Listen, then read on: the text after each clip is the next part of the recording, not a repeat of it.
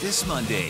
If you only watch one sweet, funny new show about a charming girl saving herself for marriage, I've never had sex. who's engaged to a good looking cop, but also accidentally inseminated by her hot boss, Wow, you're hot. who also happens to be her former flame, I used to make out with Jane all the time. What?